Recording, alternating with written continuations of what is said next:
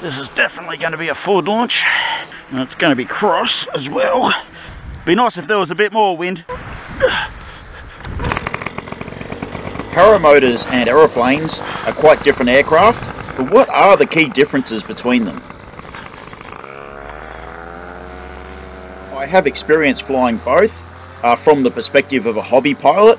I fly for fun, not for competition or for profit, and what a load of fun it can be.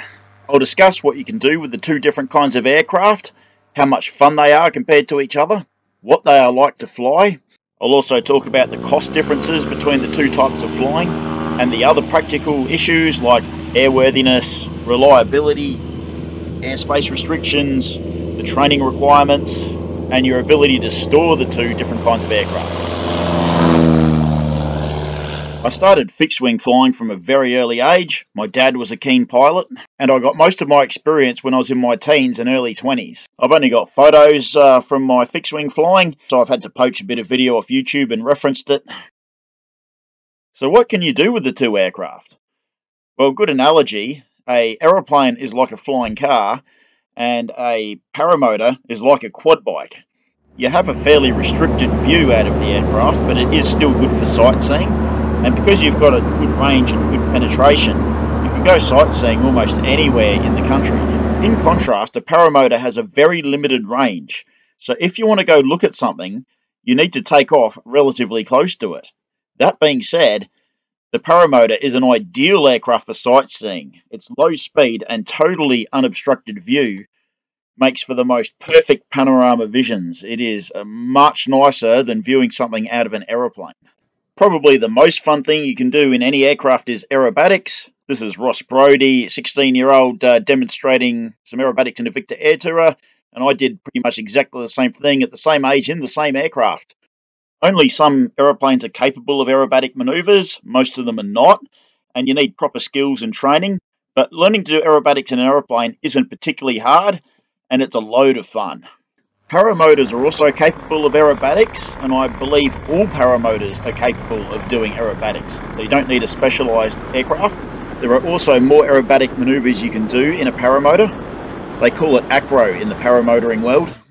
Paramotor acro is much more difficult than doing aerobatics in an aeroplane because of the nature of the wing, the pendulum swing, uh, the fact that it's a soft wing and you're under lines, you have to be positive loaded all the way through, you build up energy. It's a very complicated process, much harder than flying an aeroplane. I'm not game to go over my wing yet, still building up my skills. So aeroplanes, to do aerobatics, you need a specialised aeroplane, but they're relatively easy to do. Paramotor, almost anyone will do it but it requires a lot more training practice and it's much more difficult to do.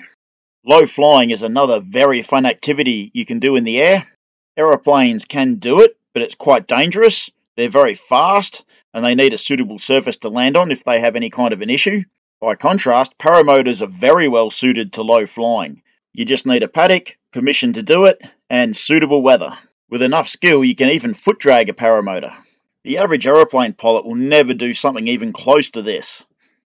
So when you're out having fun flying around, it's really cool to be able to share the experience with passengers. Aeroplanes really lend themselves to taking passengers. They're built for it. They're like flying cars, really.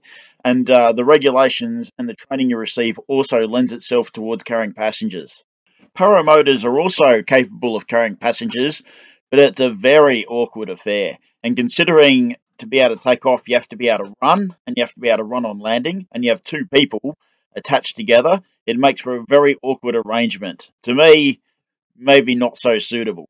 Uh, the last application of the two aircraft I'll talk about here is travelling around the place. I've flown pretty much all over Australia in aeroplanes. The only real restriction is you're limited to taking off and landing at airports and airstrips. I particularly enjoyed flying out to islands that were difficult to get to any other way. I think it would be next to impossible to do the same thing on a paramotor. Realistically, any long distance flight on a paramotor, you'd need a support vehicle to come along and resupply you at every short stop. To me, paramotor is a machine that you put in your car or in your boat and you take it to a location and then you fly there. The one advantage paramotors have when it comes to traveling around the place is a paramotor has much less restrictions on where it takes off and lands. You can take off from beaches, you can take off from paddocks. You need very little room to perform a launch or a landing. They are extremely versatile in that respect. So, what is it like flying an aeroplane and what is it like flying a paramotor? Well, to me, both are a hell of a lot of fun. The feeling is entirely different.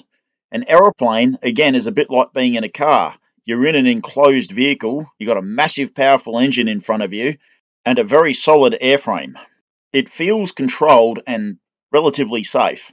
While on the paramotor, you're hanging under what is basically an inflatable bag by a bunch of lines strapped into a backpack with a small two stroke motor on it. You feel extremely exposed. There is nothing in front of you. You can't see any of your equipment while you're flying along. It is a really, I can only describe it as a terrifying feeling. But it feels like you are flying, like Superman. You run into the sky, and then you can control the vehicle with your body weight while the aeroplane feels like a powerful machine that you drive. It confidently punches through the air, going where you want it to go.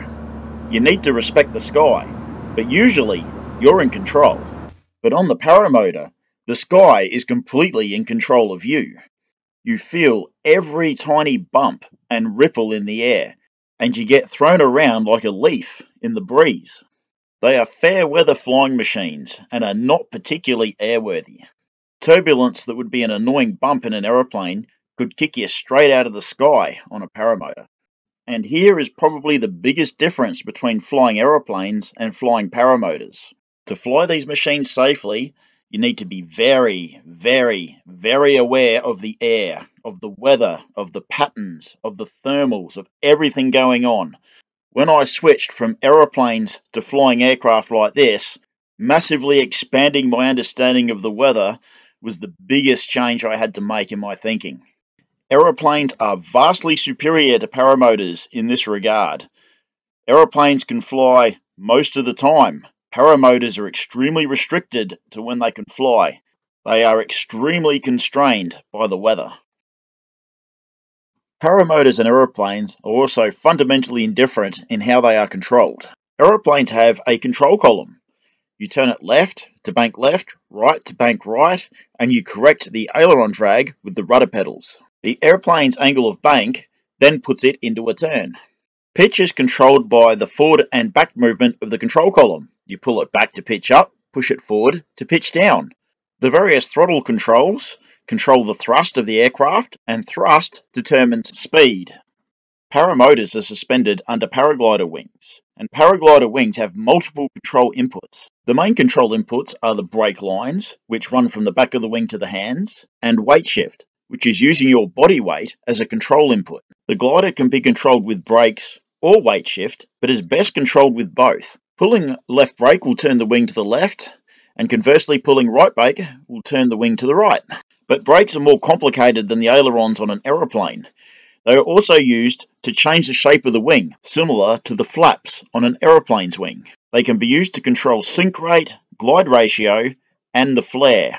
And just to top it off, they are also used to control the wing's position above the head. The glider will also turn in the direction of a weight shift. And swinging body weight creates a pendulum effect, a swinging motion which is essential for acro, aerobatic maneuvers. A simple throttle control held in the hand controls thrust, which many people might be surprised to hear has no effect on speed.